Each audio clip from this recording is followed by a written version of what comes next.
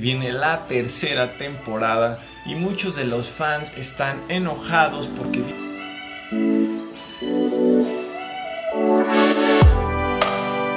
Bienvenidos a Planeta Gil amigos, en este video vamos a hablar de La Casa de Papel, una serie que de repente se volvió muy famosa. Para los que no han visto La Casa de Papel o no la hayan escuchado antes y se pregunten de qué va a hablar este sujeto en este video, pues bueno, es algo más o menos así. Hola, soy México. Hola, yo soy París. Mmm, ¿cogemos?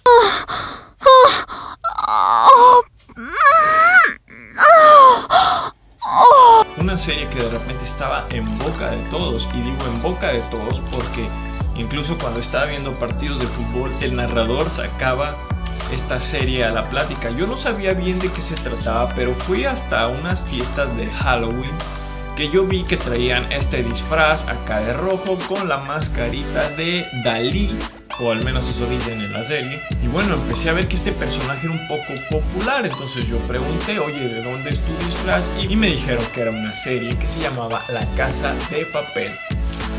Esta serie, ¿qué onda? Bueno, esta serie comienza cuando el profesor, un personaje muy astuto y muy inteligente, se pone a reunir a personajes que, dadas sus características, formarán el equipo perfecto para llevar a cabo un robo, un robo a la casa de moneda en España, donde planean imprimir y robar mucho dinero. Una de las cosas que más destaca de esta serie son precisamente los personajes, los cuales no conocemos su nombre.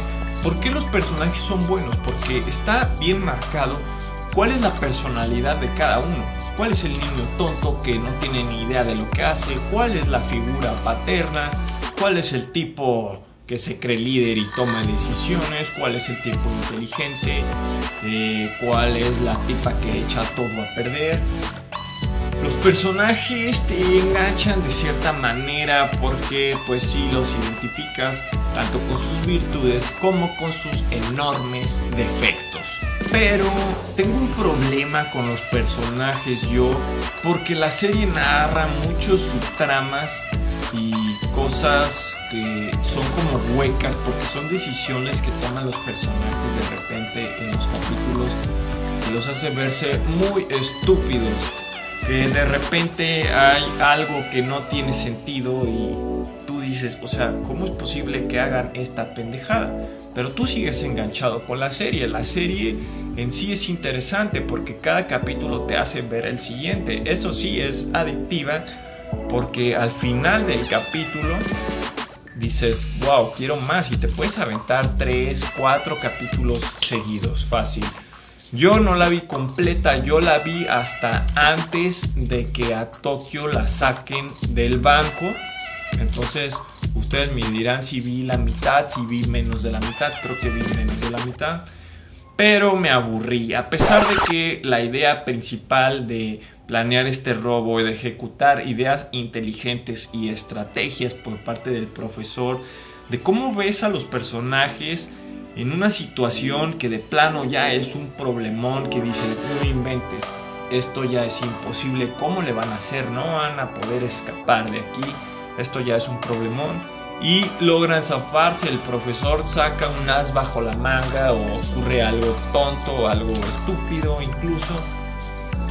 Y todo eso, la idea del banco, las máscaras, eh, parte del guion está bien elaborada y lleva una secuencia muy padre en donde realmente no, no parece mucho tener tantos capítulos dentro del banco, pero me aburrí precisamente por estas cosas que a nadie le interesan, cosas que te cuentan la historia, que a nadie le importa sobre los personajes, sobre sus fetiches, o sea, a mí no me importa si a fulanito tiene necrofilia, menganita tiene zoofilia, todos estos temas eh, sexuales me parecieron muy repetitivos y muy encimados, como si, como si hubieran dicho, nuestra serie no va a pegar si no le metemos tantas escenas de adultos.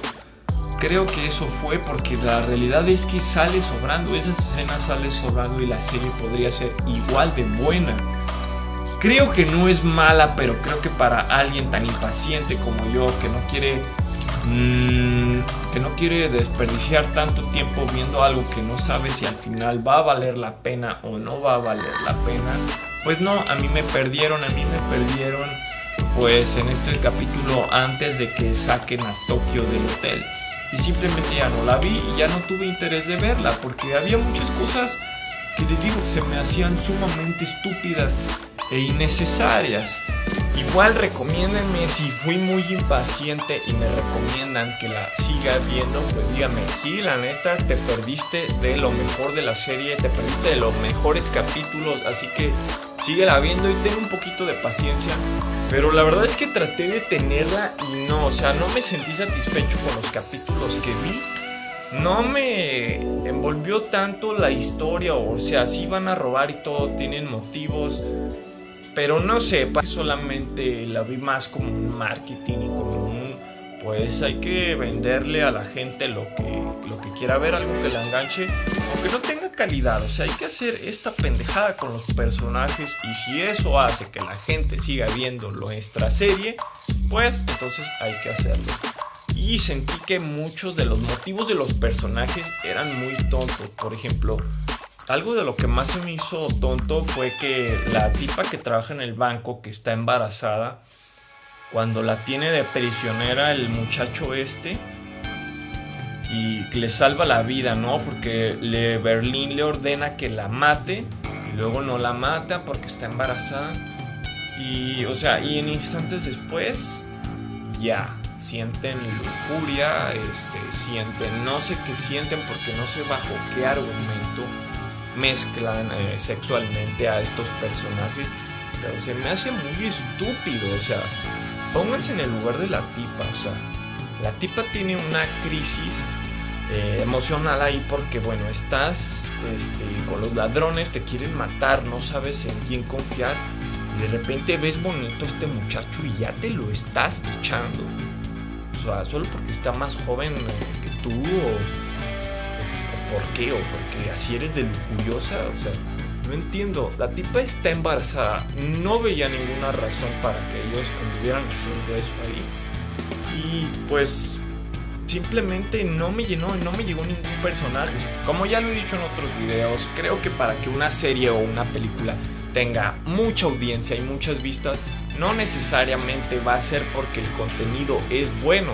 En este caso la gente empezó a ver la primera temporada, tal vez hubo personas que llegaron hasta la segunda, empezaron a ver los capítulos y pues ves a los mismos personajes en un episodio, en el otro episodio, en el siguiente y pues dices, ya los conozco, la voy a ver, llegas a tu casa, no hay nada que ver, le cambias y empiezas a ver la serie. Creo que ese es el motivo por el cual la gente ve las series hoy en día. Llegas de tu rutina, llegas del trabajo, lo que quieres es acostarte y prender la televisión. Y pues terminas viendo que lo que haya, no necesariamente que sea bueno o sea malo. Y ahora que está saliendo la tercera temporada, y muchos de los fans están enojados porque dicen, yo no había nada que contar, todo ya había terminado, genial, ¿por qué continúan? Bueno amigos, la razón es obvia, continúa la serie por dinero. Vi el tráiler, veo que ya están en una isla, ya, ya, robaron o algo y pues los están persiguiendo. Pero o sea, ya no roban bancos, ya no roban dinero, ahora lo que se roban es el himno, porque vi unas escenas, vi unos videos, de hecho si se puede por aquí les voy a dejar un cacho. Se roban los himnos.